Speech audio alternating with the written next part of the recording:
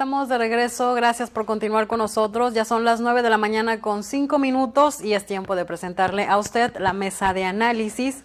Están con nosotros aquí en el estudio como cada inicio de semana Marco Antonio Vázquez. Buen día, Selena, buen día al auditorio. Hoy también nos acompaña en el estudio Mauricio Zapata. ¿Qué tal, Lucy? Buenos días, buenos días a los integrantes de la mesa, buenos días al auditorio. Y también hoy nos acompaña aquí en el estudio José Manuel Flores Montemayor. Bienvenido. ¿Cómo estás? Muy buenos días, amigos que nos escuchan, muy buenos días. Pues bien, si les parece, les comparto el tema de hoy para quien nos está acompañando del otro lado de la radio, para que igualmente saque su, su punto de vista, su opinión referente al tema. Una vez que el Senado de la República declaró la vacante de la senaduría por Tamaulipas, el alcalde de Matamoros, Mario López Hernández, pidió licencia este fin de semana como presidente municipal de Matamoros para estar en condiciones de competir como candidato al Senado. Aquí la pregunta es, ¿consideran que será el candidato de Morena a este puesto o fue solamente un intento de madruguete al sentirse relegado? Si le parece, iniciamos con Marco Antonio. Bueno, es una, es una buena pregunta porque el alcalde de Matamoros ha hecho este tipo de acciones un par de par de veces. Eh, se quiere ir por la libre, eh, siente que es el, un virrey en, Matamoros, que sin él eh, no pueden hacer nada. la verdad es que cruzando ahí la, línea visoria entre Matamoros y Vallehermoso ya nadie lo conoce. Se va a, San Fernando y lo sueltas en la calle y difícilmente lo identifican. El, el, el problema de los es, es, cierto que tiene un amplio capital en Matamoros, que ha hecho, creo que nadie como él obtuvo tantos votos a favor de la causa de Morena. Una diferencia de la elección de gobernador, si mal no recuerdo, de 50 mil, 30 mil votos por ahí. E, e, es, ese es el, el colchón o, lo, que lo, lo que lo cobija. Eh, lamentablemente para ellos tienen muy mala prensa. Gastan mucho dinero en comunicación social, pero tienen muy mala prensa eh, en el entendido de que no saben hacia dónde tienen que proyectarse para momentos como este. Eh, si lo pones a competir en encuestas como tradicionalmente lo hace, lo hace Morena, creo que cualquiera podría ser más, más conocido que él en este momento. Que es un buen candidato, es un buen candidato en el entendido de que tiene o, debería de entenderse que conoce eh, el, entramado político, que conoce cómo operar políticamente para este tipo de, elecciones. Sin embargo, no es imprescindible, mm, pudiera ser otro y gana Morena en este momento. Eh, creo que fue lo de él un madruguete. ¿Por qué? Porque saben que eh, la elección de senador, estando en el Senado, puedes eh, acercarte a quien vaya a ser el presidente, eh, el próximo presidente, puedes buscar tu reelección o simple y sencillamente incrustarte en, la nómina federal y desde allá buscar la gubernatura del estado en cinco años, en seis años. Es, en eso están pensando. Eh, creo que el gobernador en turno, el presidente de la República y quienes elijan en Morena tienen que pensar muy bien en el candidato en el candidato porque eh, les puede hacer sombra o les puede eh, echar a perder sus proyectos locales que tienen en este momento. Es una administración muy joven como para estarla eh, manchando con este tipo de, proyectos tan futuristas. veremos si, si le alcanza Mario López. Yo insisto que es una persona poco conocida saliendo de Matamoros y eso le puede perjudicar Obviamente debe tener permiso, obviamente debió avisarle a alguien que va, que va a solicitar licencia, pero mm, los gobernadores a todo mundo le dicen que sí. Si, tú, si el delegado de los programas federales hubiera dicho, oiga, voy a solicitar licencia porque quiero ser candidato, lánzate, búscala. El partido tiene sus métodos y tiene sus, eh, eh, tiene sus tiempos y cuando el partido decida, eh, nos gustaría que te sumes. Y, listo, no creo que les digan otra cosa. creo que fue un madruguete, pero bueno, esperemos a ver qué dice Morena, porque no la dirigente estatal está muy novata, no ha salido a la calle cuando se ha pronunciado la, ha sido para regarla y, creo que está atemorizada en su lugar, en su, en su presidencia y, no sabe qué hacer en este momento y ese va a ser otra carga. José, Manuel Flores, ¿cuál es tu opinión referente al tema de hoy? No, sin embargo, eh, sin lugar a dudas comparto con Marco sus puntos de vista. Sí es cierto también que se aceleró un poco este tema, yo creo que con la visita de Carlos Cantú Rosas la semana pasada, ¿verdad? Habría que revisar también en la geografía de quién toma la decisión para ser el, candidato, si lo va a hacer el jefe político del Estado, si lo va a hacer el partido en el Estado, si lo va a hacer el partido a nivel nacional, si lo va a hacer la Cámara de Senadores. También eso nos daría un poco pistas, ¿verdad?, de cuál fue esta acción eh, tan prematura. Comparto con Marco que esta agenda de tomar eh, de decidir por un candidato, pues no estaba. Era algo que hasta el próximo año este, se iba a poner sobre la mesa y bueno, desafortunadamente aparece a 30 días de arrancado el gobierno, aparece esta situación y pues puede convertirse también en una manzana envenenada, ¿verdad? Porque hay mucha gente que, que aspiraría, como hemos visto la presión que, que ha ejercido el, el, alcalde de Matamoros, también está Maki, que, que se, ha, se, ha, comentado mucho en Reynosa, que, que anda, la merodean mucho de Movimiento Ciudadano. Carlos Canturrosas también ha habido mucho, mucho ruido en el tema.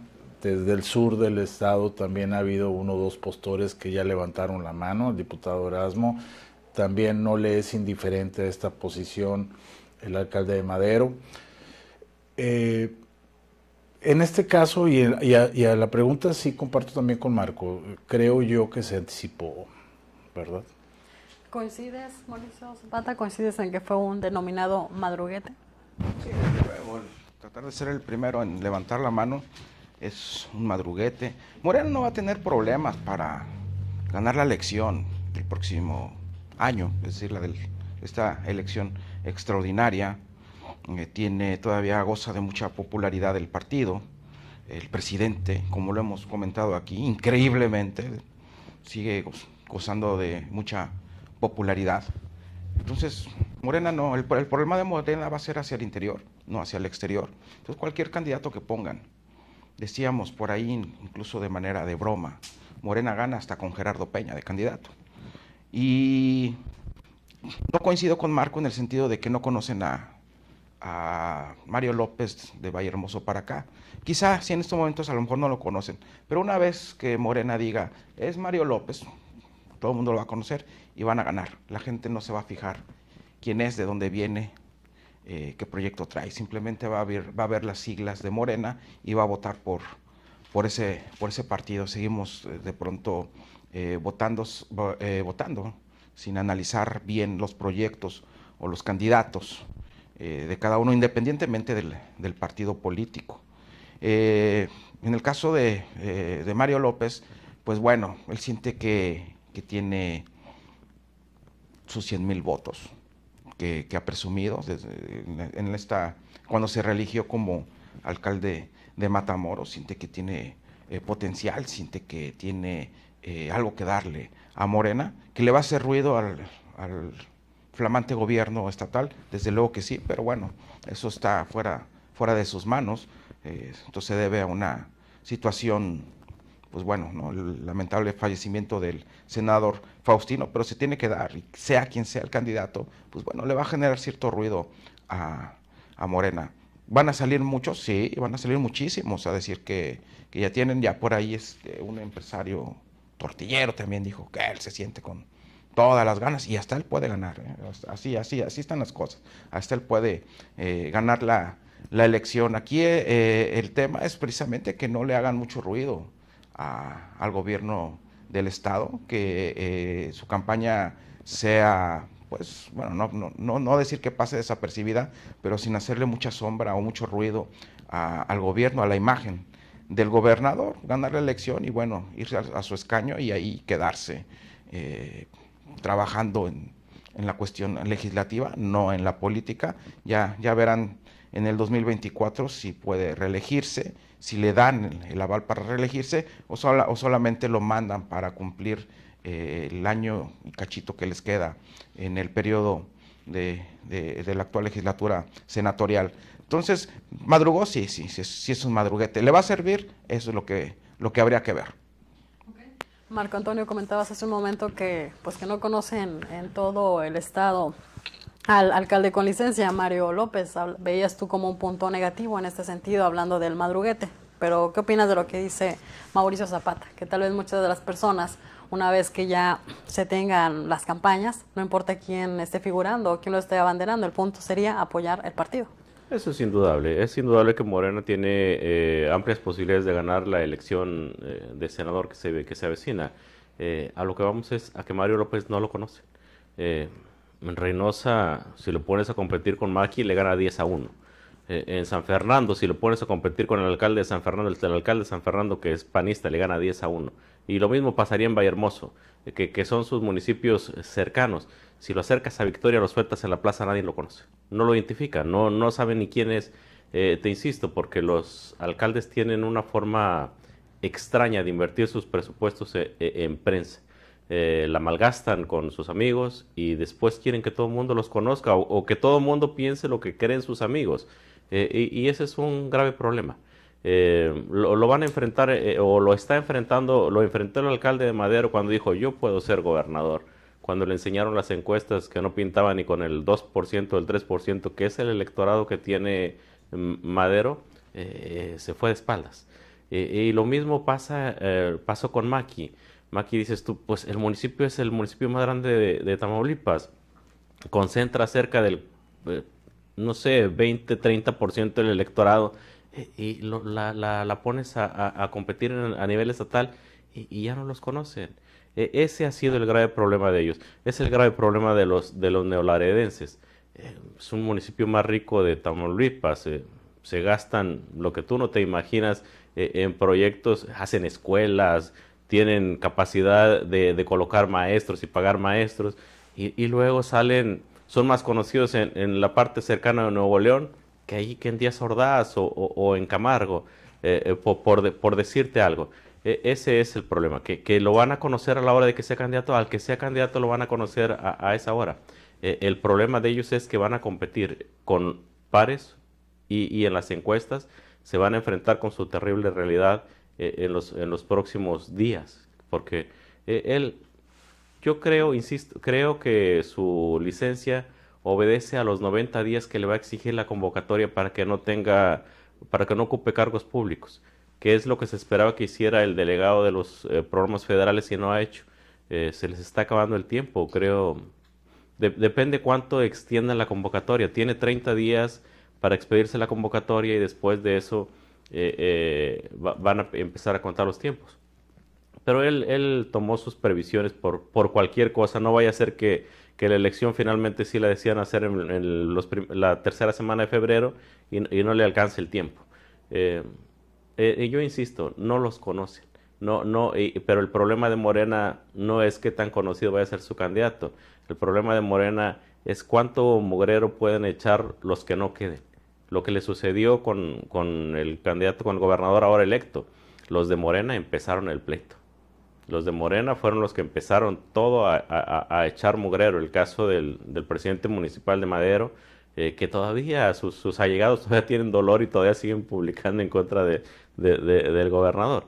E, e, esos, son los, esos son los problemas que va a tener Morena. enfrentar lo que venga, qué tanto los pueden descalificar y qué tanto le pueden pegar al electorado. Eh, la diana va a estar colocada hacia el gobierno estatal. Va van a tratar de disminuirlo, van a tratar de pegarle lo más que se pueda para en el 2024 entrar a ver si hay nuevas condiciones y pueden competir en la, en la futura elección. Entonces, ¿consideras que no va a haber unidad? No, no pero no es necesaria. El Morena no existe como partido. No, los, los grupitos o los grupos están muy chicos eh, en relación a una elección universal o una elección estatal. No, no, no pintan para, no le, no le causarían mayor problema a un, a un candidato a senador. Es tiempo de irnos a una pausa. ¿Les parece si vamos a unos mensajes? Quédese con nosotros y al regreso continuamos con más de la mesa de análisis.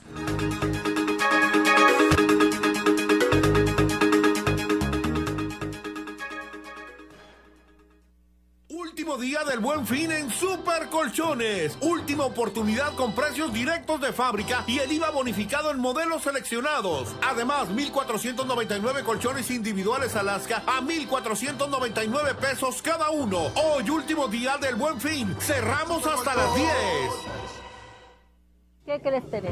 Que desde que nos pusimos de acuerdo todos los vecinos y pagamos nuestro predial, nuestra colonia es diferente, se ve muy bonita. ¿Qué tiene que ver el predial? Porque lo recaudado en tu colonia se queda en tu colonia. Uh, tiene mucho que no lo pago. Pues aprovecha porque mira, ahorita hay 100% de descuento en recargos, gastos de ejecución y cobranza de este año que debas y de todos los años que debas. Hagamos un convenio. Paga lo que debas en un plazo de tres meses. Acércate a Retama, Presidencia Municipal y Delegación Norte y Sur. Aprovecha nuestros descuentos y promociones. Con tu predial, transforma tu colonia. Gobierno Municipal de Altamira. En esta temporada, pinta con Verel. Un porcentaje de tu compra se destinará a tratamientos médicos para que personas puedan recuperar su vista. Y Verel, para agradecer tu apoyo, te entregará pintura gratis. Se ve bien, ¿no? Ah, y la cancioncita. Pinta con confianza, pinta con Verel. Llegó el buen fin y las buenas compras están en Coppel. Hasta 15 mil pesos de descuento en motos y hasta 25% de descuento en llantas y acumuladores para auto. La mayor variedad y las mejores ofertas siempre están en Coppel. Pásala, mejora tu vida. Coppel. Vigencia del 18 al 21 de noviembre del 2022. Consulta códigos participantes en tienda y coppel.com diagonal buen fin. En HB, Santa está a cargo del buen fin. Compra dos tintes para el cabello y llévate el tercero gratis. O bien, compra dos cosméticos y el tercero llévatelo gratis. Aplican restricciones. Vigencia el 21 de noviembre. En tienda y Santa está a cargo. Lo mejor para ti. Aprovecha y paga tu predial. El Ayuntamiento de Victoria te ofrece 100% de condonación de recargos en tu predial. Es el momento de actualizarte acude a nuestras cajas y módulos de atención ubicados en Palacio Municipal, Oficina de Catastro y en Comapa, Victoria. Vigencia del 8 de noviembre al 30 de diciembre.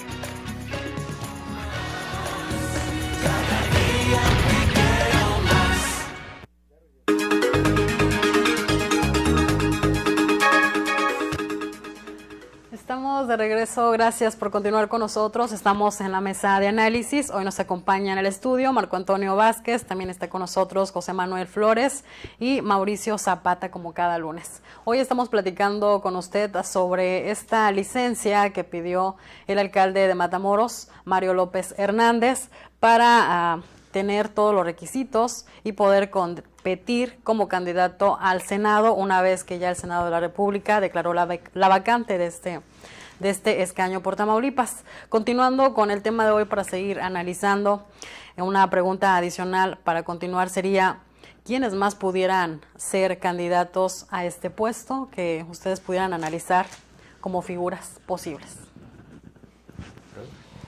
Yo sí hay la marca es tan potente que también atrae el interés de muchos actores, ¿verdad? En el sur ya comentábamos hace un momento que Erasmo ya levantó la mano. Eh, no le es indiferente tampoco esta situación al alcalde de Madero, ¿verdad? Eh, si nos vamos en el norte, eh, la exalcaldesa está, estaba interesada también en, este espacio, lo ha manifestado ahí. Carlos Canturrosas también ha, estado de una u otra forma moviéndose entre los medios. La verdad es que son, perfiles interesantes, ¿verdad? Políticos profesionales comentan que lo único peor de un político profesional es un político no profesional, ¿verdad? Entonces, aquí son gente con experiencia que pudieran hacer un buen papel en el Senado, no sé cómo tú lo veas. ¿A quién más visualizas, Mauricio?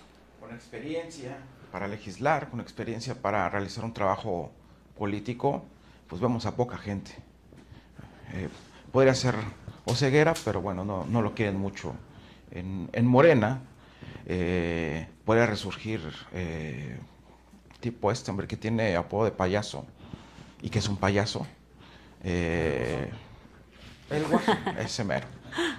puede resurgir, creo que le deben por ahí algún favorcito que haría buen papel, ahí sí, no me preguntes, ¿verdad? Pero hay muchos, hay muchos y realmente el problema es ahorita es que no, no se ve así que a alguien favorito. Mencionan a Carlos Canturrosas, pero no sé, el hecho de dejarlo fuera del gabinete, el hecho de que sigue un poco alejado, es lo que siembra dudas. Una foto en redes sociales no nos puede decir mucho. Eh, puede ser una señal, pero igual puede ser también una señal hacia otro lado. Decir, bueno, sí nos llevamos bien, pero por ahí de lejitos, porque la foto también tiene cierto distanciamiento. Eh, la verdad es que sí, se, se, se, se antoja eh, complicado por quién va a decidir Morena, y lo comentábamos fuera del aire, el problema es que no sabemos quién va vaya a tomar la decisión, si se toma del Palacio del 15 Juárez o se toma del Palacio de, que está frente al Zócalo Capitalino, o se toma desde la Cámara de Diputados, en la oficinita que tiene Mario Delgado, eh, entonces es, es, complicado, no, no, hay un favorito, no podemos, eh, bueno, en caso no puedo afirmar que vaya a ser fulano o perengano. Maki, pues igual también dicen que le deben eh, algún favor y que puede ser una, una opción. la verdad es que es, es complicado, es, es, un tema eh, complejo. Lo que sí me queda claro es que eh, Morena luce como favorito, sea quien sea el candidato. Creo que esa no es la preocupación de, de quienes deciden esta situación. Mm, tienen eh, todos por tienen la tienen de, ganar. El partido de acción nacional pues no está con mucha fuerza. La gente eh, bueno eh, la dirigencia estatal insiste en el exgobernador cabeza de vaca. El exgobernador cabeza de vaca no goza de muy buen prestigio en el estado hacia, hacia la gente. Yo creo que puede el rechazo va a ser va a ser muy duro y a lo mejor no está preparado incluso él para una derrota de esta de esta magnitud la verdad se, se, antoja eh, complicado para ver qué van a decidir en, Morena, que es el, partido a seguir, que es el partido eh, favorito. No se descarta ningún otro, eh, bueno, no se descarta el PAN, iba a decir a ningún otro partido, pero bueno, sí podemos descartar otros partidos. no sabemos incluso si vaya a haber una, una alianza entre PAN, PRI, PRD, no sabemos si vaya a haber una alianza en Morena, PT, Partido Verde, porque incluso en el Partido Verde hay gente también levantando la mano, como eh, Manuel Muñoz Cano, y, que, y que en un momento dado a lo mejor también eh, podría inclinarse la balanza hacia ese lado. La verdad es que es, es complejo ahorita decir, hay un, favor, un personaje favorito. Hablamos de un partido favorito para la elección, ya la constitucional, sí, pero para una candidatura, para darle la candidatura a alguien, sí lo, lo, veo complicado, o más bien eh, se ve así como que eh, desafocado, como se dice. ¿Habrá alguna coincidencia o consideran algún personaje de los ya mencionados que pudiera tener coincidencia donde se vayan a tomar estas decisiones. Comentaba Mauricio, puede ser aquí en el Palacio de Gobierno del Estado, ya sea el Senado o allá en el edificio enfrente del Zócalo que decía Mauricio. ¿Crees que algún personaje tenga coincidencias? Yo, creo que el único que tiene en, el radar en, el Palacio Nacional es a Carlos Canturrosas. Eh, ya lo candidateó el propio presidente en alguna ocasión, lo, lo precandidateó para para algunos puestos de elección popular. Eh, eh, hay que, yo, yo considero que en estos casos el presidente es el que tiene eh, el poder de decisión. Sin embargo, el gobernador va a tener el, derecho al veto que se le llama. ¿Por qué? Porque saben que no pueden mandar a cualquier loquito que, que desde el Senado de la República vaya a empezar a, a brincarse trancas y, a moverle eh, situaciones al actual gobierno local y al actual gobierno federal. Viene una elección bastante importante en el 2024 eh, como para poder, como para meterse en un, en un problema mayor por algo tan insignificante como es el escaño en el Senado de la República. ¿Con qué podríamos ir cerrando el tema de hoy? Pues yo creo que este, eh, esta situación de la senaduría es un tema más en la agenda mediática que es fascinante, ¿verdad? Que para la gente que nos gustan los temas de medios hay que seguirlo de cerca porque también nos va a ir mandando señales, ¿no? Nos va a ir diciendo cómo se va a ir gobernando eh, en los próximos meses todos apelamos a que las cosas vayan a mejor en Tamaulipas, pero pues sí hay muchos retos y es increíble, pero situaciones como, como, como esta que estamos comentando en el Senado, es un reto que también se presenta, ¿verdad? Ya comentaba Mauricio y, también Marco en, algún momento, que esto puede generar eh, estridencia política si se da algún grupo y otros grupos pueden sentirse inconformes, ¿verdad? Entonces, el, ruido puede ser hacia adentro en el caso de Morena, ¿no?